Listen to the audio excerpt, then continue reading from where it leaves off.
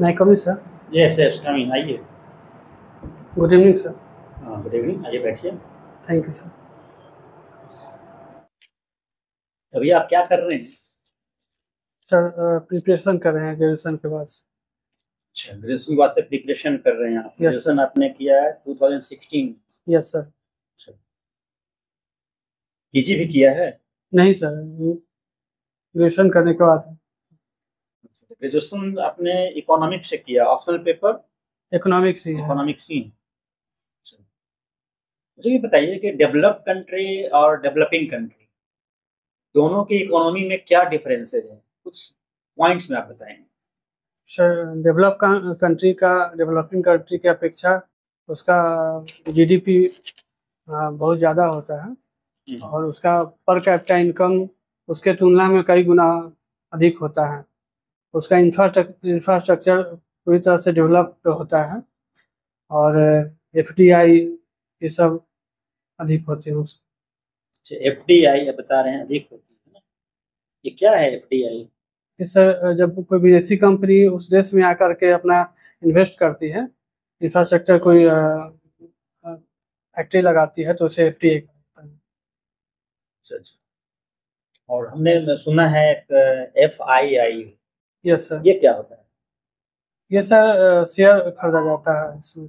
कोई विदेशी कंपनी या कोई संस्थागत उस देश में आकर के शेयर खरीदती है। अच्छा। क्यों? शेयर क्यों खरीदती है? सर शेयर से उस कंपनी का जो प्रॉफिट होता है उसमें उसको हिस्सा मिलता है। जब जीडीपी की बात कर रहे हैं तो हम लोग देखते हैं कि बिहार में हर साल जीडीपी का ग्रोथ रेट काफ़ी तेज़ी से बढ़ने का समाचार देखने को मिलता है। जबकि यहाँ गरीबी बेरोजगारी बड़े पैमाने पर अभी भी।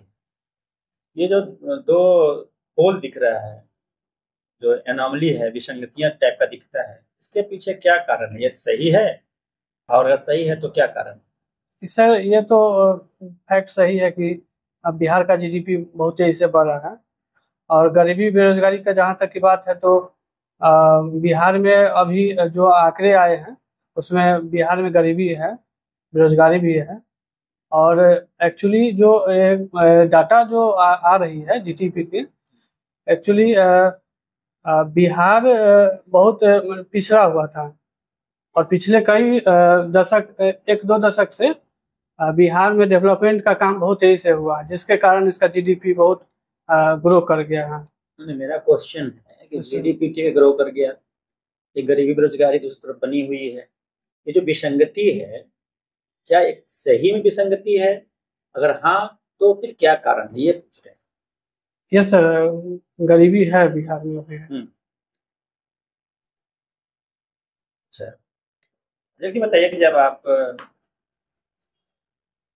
फाइनेंशियल एडमिनिस्ट्रेटिव ऑफिसर बनेंगे तो किस प्रकार से फाइनेंशियल मैनेजमेंट के बारे में सरकार को सलाह देना चाहेंगे? जिससे यही विसंगति जो भी पाई जा रही है yes, बिहार में ये काफ़ी हद तक कम हो दूर हो? पॉइंट पे कुछ बताइए। सर आ, कुछ विशेष सुझाव देंगे हम। जैसे बिहार में स्किल टारगेटेड स्किल डेवलपमेंट करना जिससे लोगों को रोज़गार मिले। उद्योग एमएसएमई को बिहार में बेहतर करना।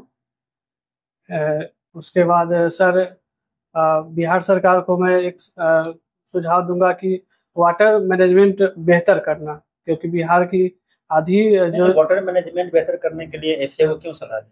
आप अपना काम बताइए। ना यस सर सर टैक्सेशन को मैं सरल करने का सर, सर, सरकार को सलाह दूँगा। सर और सर आपने दो तीन दिन पहले देखा होगा जो लेबनान में जो पेजर वॉकी टॉकी अन्य जो इलेक्ट्रॉनिक उपकरण जो विस्फोट किए हैं हमको तो उसका अंतर्राष्ट्रीय परिप्रेक्ष्य में देखा जा रहा है कि गलत कहीं ना कहीं प्रभाव जा रहा है। यस सर अब बताइए कि उसका प्रभाव जो हमारे इंडियन इकोनॉमी पे क्या पड़ सकता है दीर्घकाल या फिर अल्पकाल में? सर यदि आगे युद्ध बढ़ती है लेबनान और इजराइल के साथ। तो भारत का जो कुछ एक्सपोर्ट इंपोर्ट होते हैं तो उस पर प्रभाव पड़ेगा ही। नहीं ऐसे भी तो पड़ते ही हैं लेकिन उसमें देखा जा रहा है ना कि अब जो इलेक्ट्रॉनिक उपकरण जो है अब देखा जा रहा है कि एक संशय की स्थिति हो चुकी है कि हम जैसे चाइना से बहुत से जैसे मोबाइल जो है लगभग नाइन्टी परसेंट हम से एक्सपोर्ट करते हैं। इम्पोर्ट करते हैं ठीक है ना? तो ये संशय की जो स्थिति उत्पन्न हो चुकी है तो क्या हमारे इंडियन इकोनॉमी को प्रभावित कर सकता है? सर इंडियन इकोनॉमी में जैसे हम डिफेंस का कुछ एक्सपोर्ट करेंगे इसराइल को यदि युद्ध होती है तो। तो इससे इंडिया का इकोनॉमी में रेवेन्यू अच्छा ठीक है बताइए आप। पूंजी और धन में क्या अंतर है? कैपिटल और वेल्थ में क्या अंतर है? सर कैपिटल फ्लो होता है और और धन एक स्टोर की तरह होता है। अच्छा। तो बेहतर किसको मानते हैं आप कैपिटल या फिर वेल्थ कैपिटल को सर। क्यों तो क्या कारण है? क्योंकि सर कैपिटल से मनी क्रिएशन होता है। यदि इसका फ्लो मार्केट में बना रहे कैपिटल का तो इससे मल्टीप्लायर इफ़ेक्ट होता है। जिससे देश के जो जीडीपी है इस इस पर प्रभावित होगा। अभी देखी जा रही है ना कि जैसे बेरोजगारी एक बहुत बड़ी समस्या है भारत के तो खास करके शहरी क्षेत्र में किस प्रकार की बेरोजगारी है शहरी क्षेत्र में सर शिक्षित बेरोजगारी पाई जाती है। ये सर संरचनात्मक बेरोजगारी पाई जाती है। तो संरचनात्मक बेरोजगारी क्या? है सर जैसे इंफ्रास्ट्रक्चर उस रंग का नहीं यदि बना हो और रोज़गार की आ, मांग रोज़गार प्राप्त करने वाले की संख्या हो और इंफ्रास्ट्रक्चर नहीं होता उसे संरचनात्मक बेरोजगारी कहा जाता है। एक उदाहरण की तरह समझाइए कि कैसे हम बेहतर समझ सकते कौन सा स्ट्रक्चर जो अनएम्प्लॉयमेंट की बात करते हैं। किसको हम तरीके जैसे सर बिहार में अनएम्प्लॉयड लोगों की संख्या बहुत ज़्यादा है और बिहार का इंफ्रास्ट्रक्चर उस ढंग का नहीं बना हुआ है जिसके कारण लोगों का प्लान बढ़ा हुआ है। तो इसलिए सर इसको बिहार में स्ट्रक्चरल अनएम्प्लॉयमेंट बोला जा सकता है। अच्छा वन नेशन और वन इलेक्शन की बात हो रही है। One nation yes one election जानते हैं इसके बारे में? यस सर तो क्या अभी वर्तमान संदर्भ में अगर इसको अपना लिया जाता है तो क्या ये भारतीय लोकतांत्रिक व्यवस्था के लिए अच्छा होगा या फिर कहीं घातक हो सकता है? सर ये अच्छा कदम रहेगा मेरे ख्याल से। अच्छा कदम? यस सर तो कुछ बताइए इसमें तो खामियाँ भी देखी जा रही है कि हो सकता है कि बीच में अगर कोई सरकार गिर गई है आपको तो दो साल टेन्योर अगर बच रहा है तो उसमें भी इलेक्शन सर इसके लिए सर संविधान में संशोधन करना होगा। और उसके अनुकूल बनाना होगा संविधान को जिससे यदि बीच में सरकार गिर जाती है तो उसको कैसे कंटिन्यू किया जाए इसका विकल्प खोजना होगा। तो क्या आप ये नहीं मानते हैं कि अगर वन नेशन वन इलेक्शन की बात है कहीं ना कहीं क्षेत्र की पार्टी के अस्तित्व पर भी कहीं प्रश्न डाल सकते हैं सर कुछ आशंकाएँ हैं कि क्षेत्रीय पार्टी पर ये असर पड़ सकता है। लेकिन जब डेवलपमेंट की बात हो सर ह्यूमन रिसोर्स की बात हो तो इस यह एक अच्छा कदम है। चलिए लास्ट क्वेश्चन बताइए। फाइनेंशियल इंक्लूजन क्या है? सर फाइनेंशियल इंक्लूजन से सभी लोगों को वित्तीय संस्था से जोड़ देना है। जैसे बैंकिंग सेक्टर से सभी लोगों को जोड़ देना। तो क्या ग्रामीण क्षेत्र में महिलाओं के फाइनेंशियल इंक्लूजन के लिए? यस सर चला जा रहा है। सर जीविका के द्वारा महिलाओं को जोड़ा जा रहा है। और सर ग्रामीण बैंक है बिहार में जोड़ने के लिए। ठीक। ठीक। बताइए कि बिहार सरकार ग्रामीण विकास के लिए क्या सब प्रयास कर रही है? सर पंचायती राज स्तर पर जल जीवन हरियाली मिशन लाई है। मुख्यमंत्री ग्रामीण सोलर स्ट्रीट लाई है। हर घर नल जल योजना जो सात निश्चय के अंतर्गत आता है सात निश्चय वन और सात निश्चय टू में ये इसका प्रयास किया जा रहा है। बिहार सरकार का सात निश्चय योजना आपको सफल लग रहा है? सर इसका सफलता के इधर तो बहुत अच्छा आया है क्योंकि जैसे सात निश्चय वन में जो हर घर नल जल योजना है या शौचालय निर्माण है। ये ग्राम स्तर पर लगभग नाइन्टी परसेंट प्लस इसका क्रियान्वयन हो चुका है। तो मुझे यस सर ठीक है। यदि हम एफ़ को देखें तो हम देखते हैं कि भारत में अधिकांश एफ़ दक्षिण के राज्यों के पास जाता है। यस सर इसका क्या कारण है? सर वहाँ का क्षेत्रीय जो माहौल है उस एफ़ के अनुकूल बनाया गया है। जिसके कारण एफ़ को जैसे कोई विदेशी कंपनी है तो वहाँ वहाँ अपना कंपनी लगाने में ज़्यादा अच्छा माहौल उसको मिल पाता है। क्या माहौल है? जैसे सर कानून कानून का कोई भी कानून है जो उसके अनुकूल है बनाया हुआ है। बिहार में? सर बिहार में भी है बनाया हुआ।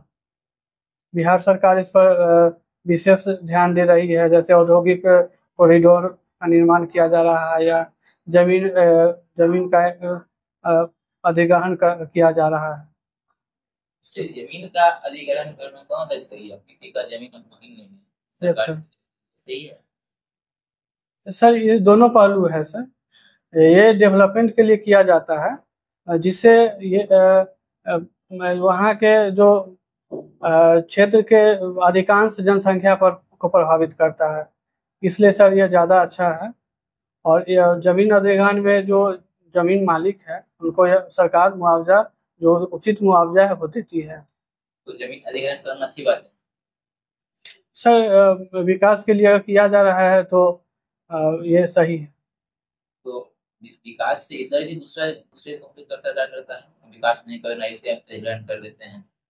ऐसा कुछ हुआ है आ, सर ये तो मुझे अभी मालूम नहीं है। ठीक अभी बताइए यदि आपकी ज़मीन का अधिग्रहण सरकार करेगी तो क्या आप रेसिस्ट करेंगे प्रतिरोध करेंगे?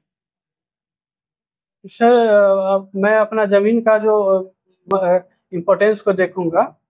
यदि वो ज़मीन मेरे यदि बहुत ज़रूरत का है तो मैं सरकार को यह बताऊँगा कि ये दूसरा विकल्प खोजा जाए इसके लिए।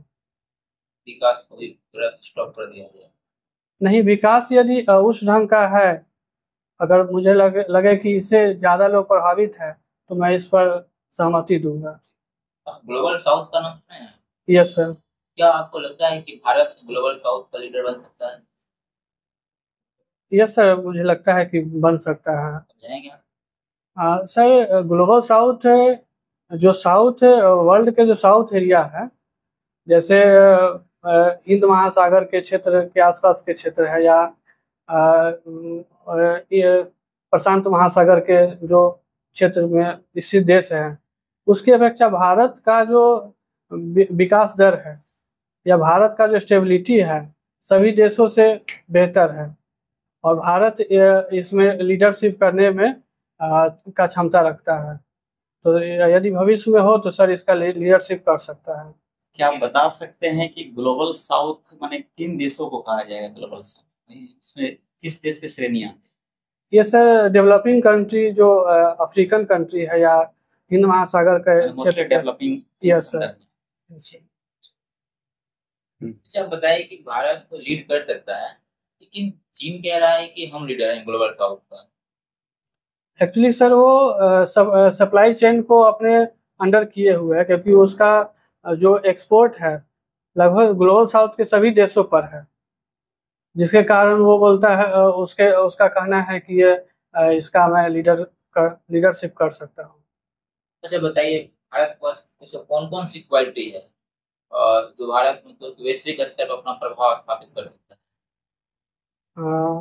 सर भारत उन देशों में, में सहायता के लिए जो ज़रूरत होती है वो हर समय तत्पर होता है। जैसे अभी हाल फ़िलहाल में सर खान अफ्रीकन कंट्री कुछ देशों में जो फ़ूड की कमी हो गई थी उसके लिए भेजा गया है भारत के द्वारा। या मालदीव में पानी की कमी हो जाती है यानी जो भी ज़रूरत होता है उसके लिए हर, हर समय तत्पर होता है। बांग्लादेश में है मेडिकल भेजा जाता है। तो इसके लिए सर मुझे लगता है कि भारत का जो विजन है वो सकारात्मक है। जी बताइए भारत के न्यायपालिका के सामने बहुत सारे केसेस पेंडिंग है लाखों की संख्या में। इतनी बड़ी केसों की पेंडिंग होने की आ, क्या कारण है? सर इसके आ, कुछ महत्वपूर्ण कारण है। जैसे न्यायपालिका में जो जजों की अनुपात है जनसंख्या और जजों की जो अनुपात है वो अभी भी कम कम है। या हाई कोर्ट हो या सुप्रीम कोर्ट हो या लोअर कोर्ट हो। और दूसरा है, कारण है कि जो लोअर कोर्ट में इंफ्रास्ट्रक्चर है, वो बेहतर नहीं है। इस पर हर, हाल फ़िलहाल में भी माननीय सर्वोच्च न्यायालय के द्वारा इसके जो निर्देश दिया गया है केंद्र को। और सर सर, थर्ड याद नहीं आ रहा। ठीक है। ये बताइए कि भारत के बारे में बात कर रहे हैं और आप एफ़ की तैयारी भी कर रहे हैं तो भारत की वित्तीय स्थिति के बारे में आपके पास कोई ऐसा आंकड़ा या कोई आइडिया है जिससे यह आप बता सकते हैं कि रियली आने वाले दिनों में भारत वर्ल्ड का वन, टू, थ्री स्थान प्राप्त कर लेगा इकोनॉमी में? यस सर, हाल फ़िलहाल में ही आया है आज के ही न्यूज़ पेपर में यह बताया गया था कि भारत 2032 में 10 ट्रिलियन डॉलर की अर्थव्यवस्था बन जाएगा।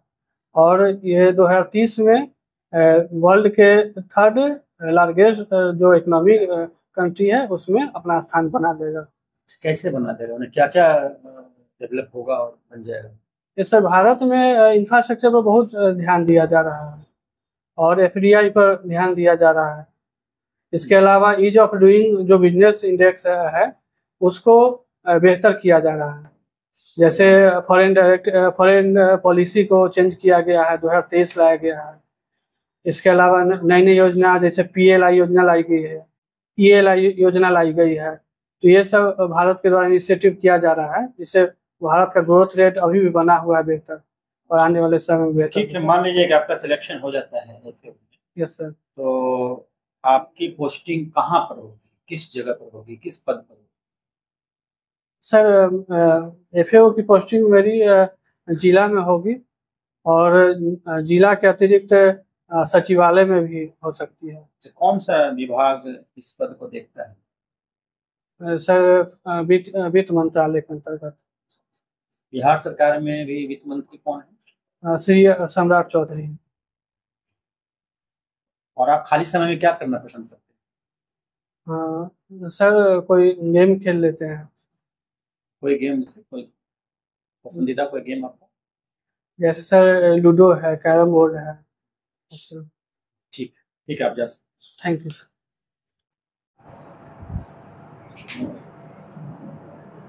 ये बढ़िया है सिंपल हो सरलता है ना? और अच्छा से तुम बात कर ले रहे हो। लेकिन थोड़ा सा और अभी ग्रूमिंग की आवश्यकता है। उस मामले में तो नॉलेज भी चाहिए पढ़ना पड़ेगा डेवलप कंट्री डेवलपिंग कंट्री के बारे में एफ़ के बारे में एफ़ के बारे में जानकारी प्राप्त करना है। कुछ आंकड़े होने चाहिए फाइनेंस के कंट्री लेवल पर भी स्टेट लेवल पर बिहार के लेवल पर भी बिहार के प्रॉब्लम्स को लेकर है ना जानकारी प्राप्त करना है। बातचीत करने का जो तरीका है उसमें थोड़ा सा और इम्प्रूवमेंट करना है। इफ़ेक्टिव होना चाहिए बात यस सर ठीक है ना? गोल गोल घुमाना नहीं है किसी चीज़ को। और अपने बातों को जो तुम बोल रहे हो उसको फैक्ट से प्रूव करने की ज़रूरत है। उसलिए डाटा चाहिए होता है। थोड़ा सा एनालिटिकल भी होना है। ठीक है? जैसे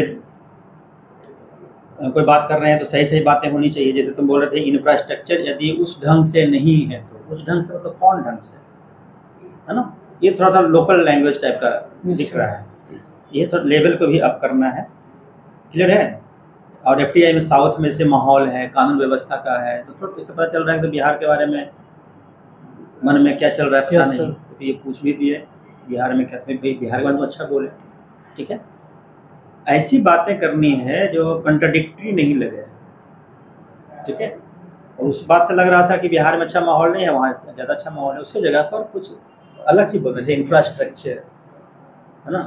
पावर कम्युनिकेशन. लिटरेसी ठीक है ना? तट से नज़दीकी होना एक्सपोर्ट इम्पोर्ट सुविधाएँ ज़्यादा है ये सब वो सब कुछ समझ में समझता है कहाँ क्या दिक्कत है है ना? लेकिन इंटरव्यू में जो बोलना है उसको थोड़ा सा ढंग से बात करने की ज़रूरत है। बिहार के बारे में तुमको बोला गया था एफ़ के रूप में सलाह देने की तो वाटर मैनेजमेंट ये तो जनरल बातें होगी ना। Yes, जिस. तरीके से जिस पद पर रह करके सलाह देना है तो उससे रिलेटेड बात करना है। मैं टू द पॉइंट बोलना है टू द पॉइंट रहना है। बाकी सब ठीक है थोड़ा थोड़ा प्रैक्टिस करोगे तो अच्छा हो जाएगा। ठीक है? Thank you